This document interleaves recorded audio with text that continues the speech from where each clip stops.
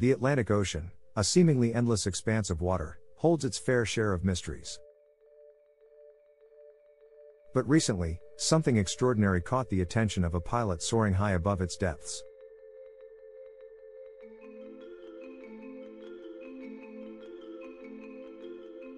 It was an ordinary day for pilot Dustin Maggard, until his eyes beheld an otherworldly sight.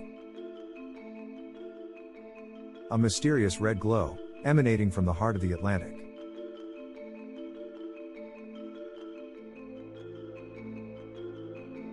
The internet erupted with speculation, theories pouring in like waves crashing against the shore.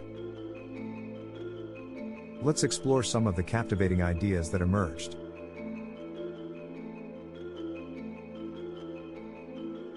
Theory number 1 The Upside Down Stranger Things portal.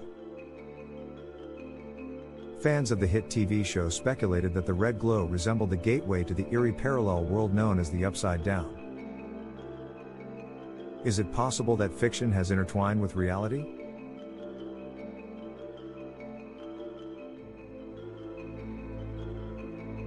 Theory number 2 A rare phenomenon.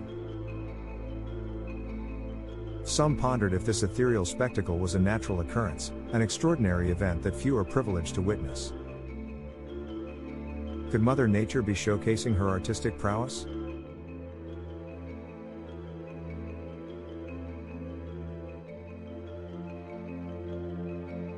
Theory number 3 Undersea volcano eruption or UFO? In the realm of the unknown, possibilities are limitless. Speculators propose that the red glow could be the result of a mighty undersea volcano awakening from its slumber, or perhaps an otherworldly craft paying our planet a visit. Theory number 4 A logical explanation. Amidst the fantastical theories, a practical hypothesis emerged. Could this phenomenon simply be the work of a fishing vessel, strategically employing red LED lights to attract their elusive prey, the saury fish?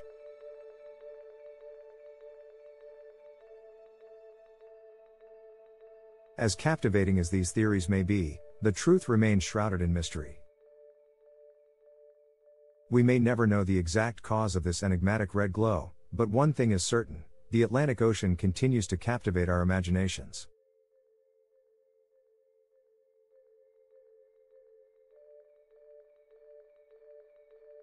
Until the day when the secrets of the deep are unveiled, we can only marvel at the wonders that lie beneath the surface of the mysterious Atlantic Ocean.